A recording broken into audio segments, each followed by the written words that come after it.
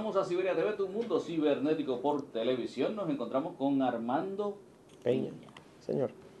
Y estamos hablando sobre las nuevas eh, tecnologías que va a estar trabajando los amigos de Microsoft. ¿Y qué es lo nuevo? El cloud. Ahora estamos toda la nube. No es que estamos en la nube, sino que ahora vamos a estar ofreciendo cosas interesantes y mucha tecnología para que de alguna forma ese pequeño mediano empresario que en este momento tiene que poner en su, en su balanza tecnología o mantener la operación. Una de las cosas que, que apunta a las tecnologías cloud es que permita que la tecnología de punta, la tecnología de última generación, esté al alcance de cualquier usuario. Que ahora no esté restringido solamente a esas grandes compañías o a esas compañías corporativas que tienen lo último tecnología, sino que ahora ese pequeño empresario que tiene tres empleados, que tiene un empleado o que tienen 25 o 50 empleados puedan tener el acceso a la misma tecnología que puede tener cualquier corporación. Eso es la apuesta que de alguna forma eh, lleva a Microsoft a hacer la, su migración a la nube. De hecho, si te, hacemos historia, Microsoft está en la nube hace unos cuantos años atrás, mucho antes de que estuviera de moda el tema de la nube. Si hablas de Hotmail, por ejemplo, Hotmail es un servicio de mensajería que tiene muchísimos años y que ya nosotros conocemos de hace rato. Y lo que hemos venido evolucionando es, compilando todas las ofertas de productos que tenemos y la hemos venido uniendo para tener una solución asequible para cualquier usuario este, con la última tecnología. Entonces tienes dos, dos vistas de ver la nube. La primera tiene que ver con la nube privada. La nube privada son aquellas empresas que ya tienen tecnología y quieren migrar parte de su operación a la nube para ahorrar costos, para manejar el tema de, de electricidad, para reducir espacios en el tema de tecnología donde las aplicaciones importantes del negocio se quedan on-premises y el resto de la operación se muda a la nube, pero administrada siempre por la misma compañía. Eso es una nube privada. Y esta es la nube pública, que yo por suscripción, como pagas tú el celular o como se paga el servicio por cable, yo por un fee mensual recibo unos servicios, por ejemplo, mi correo electrónico, donde yo puedo decir www.micolmaditoelectrónico.com y yo puedo tener ahora mi correo electrónico, mi propia página web, mi servicio de telecomunicaciones y mi seguridad, todo integrado por un solo fin mensual, que de alguna forma arrancaría en, precios muy accesibles, como por ejemplo, tú ahora puedes tener una solución como la que te comentaba por 6 dólares al mes. 6 dólares por usuario por mes, arrancando de un usuario y yo puedo tener todo lo que yo quisiera tener en una empresa como la, que yo, como la mía, que en este caso puede tener mi página web, mi correo electrónico, como te decía.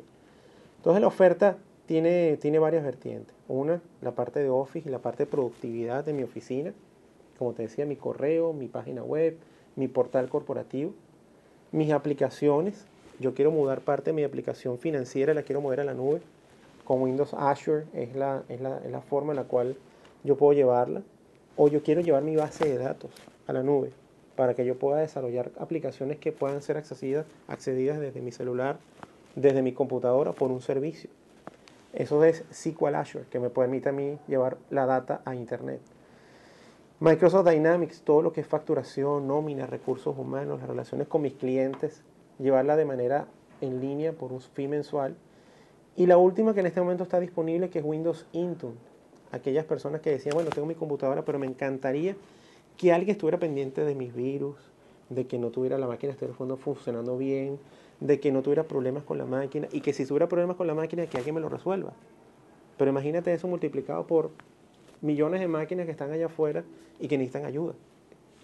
Con Windows Intune ahora nuestros partners van a poder ofrecer la capacidad de administrar tu computadora remotamente y mantenértela al día, así seas una empresa de una computadora o de 25 computadoras, por un fee que incluye Windows por 10 dólares al mes. Entonces, vamos a llevar a toda una oferta de corporaciones hasta pequeños empresarios bajo un modelo de la nube por suscripción, donde yo tengo el control total todavía de mi infraestructura. Esa es básicamente la apuesta de Microsoft en la nube. ¿Windows en algún momento estará completa en la nube? Mira, una buena pregunta. Yo, gran parte de la operación y gran parte de, los, de las tecnologías que hoy en día vamos, tenemos, incluyendo Office, ya están en la nube. No me extrañaría que en un momento dado Windows sea un servicio más que lo pago por suscripción. Sé que no lo veo, no lo, no lo veo tan, tan, tan, difícil. tan difícil decir que poder hacer Windows en la nube. Lo que sí te puedo decir es que en este momento gran parte de nuestro portafolio de servicios claves del negocio están disponibles ya en la nube. ¿Office está por suscripción? Office está por suscripción. De hecho, hay una opción de Office 365 que incluye la posibilidad que también tengas Office en tu computadora. La puedes tener en la web con Office Web Applications o instalada en tu computadora por un fee mensual también. Así que no tengo que comprar Office, sino que ya con la compra de esa suscripción mensual me incluye Office y todos los servicios que una pequeña empresa pudiera necesitar. Mi página web, mi correo electrónico, la seguridad y mis comunicaciones corporativas. Ahora le voy a hablar a la gente. ¿Ves? No tiene necesidad de piratear a Office. Ya puede conseguir con 6 dólares mensuales por lo menos, tener en su computadora de su negocio, tener a Office. Así que no lo piratee. ya, ahora vengo acá. Eh, en el caso de Intune, eso eh, yo tendría que ser partner de, Microsoft como tal, o, eso yo puedo hacerlo como un servicio mío a través de Microsoft. ¿Cómo funciona esa parte de Intune? La idea es que se trabaja a través de partners. Nuestros socios de negocios incluyen dentro de su portafolio la posibilidad de administrarle a esa empresa esas, esas cinco o cuatro computadoras. Yo hago el ejemplo de, de donde yo vivo, el condominio donde yo vivo, la administradora tiene dos PCs entonces ahora esa, esa, pequeña administradora de condominios puede tener al día su computadora por 10 dólares al mes, donde siempre van a estar pendientes de revisar que tengan los últimos las actualizaciones de los virus, de que tengan los últimos service packs y actualizaciones a la computadora y que incluya Windows Enterprise en la computadora también. Pero ese servicio lo vamos a dar mayoritariamente y se está proveyendo a través de socios de negocios. Pregunta obligada.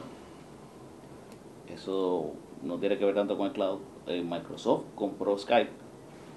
Eh, esa fusión se espera que sea algo bueno. ¿Cuán bueno va a ser?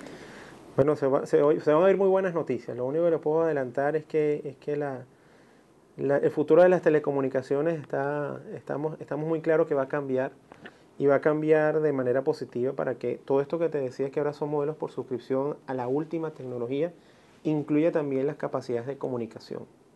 Eh, y eso es por lo cual estamos trabajando muy de cerca ahora con, Skype eh, como parte del equipo para revolucionar nuevamente el, tema de las telecomunicaciones a un precio accesible y con las últimas capacidades que cualquier empresa pudiera necesitar. O sea que vamos a ver cosas muy buenas dentro de muy poco con esa fusión con Skype.